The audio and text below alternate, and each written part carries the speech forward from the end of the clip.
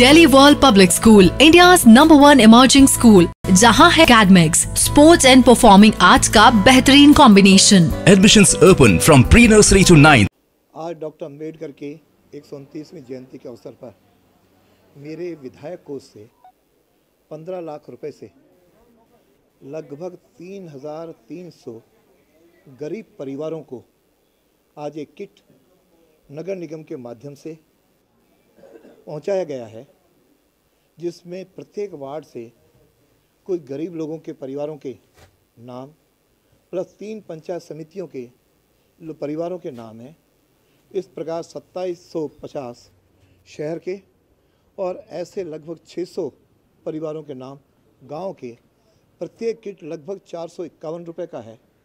जिसमें 10 किलो आटा, एक किलो तेल, एक किलो दाल, एक किलो नमक 100 ग्राम हल्दी और 100 ग्राम मिर्ची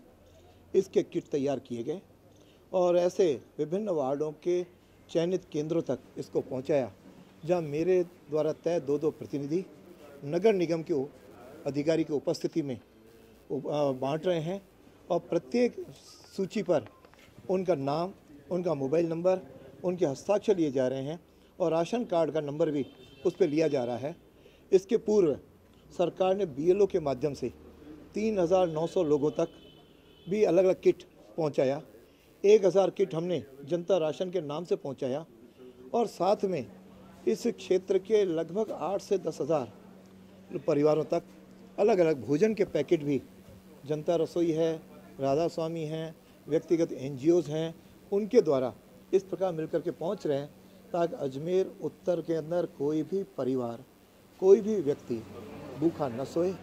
और जिनको किट की आज नहीं मिल पाए हैं इस में तो और अपने अपने स्थानों पर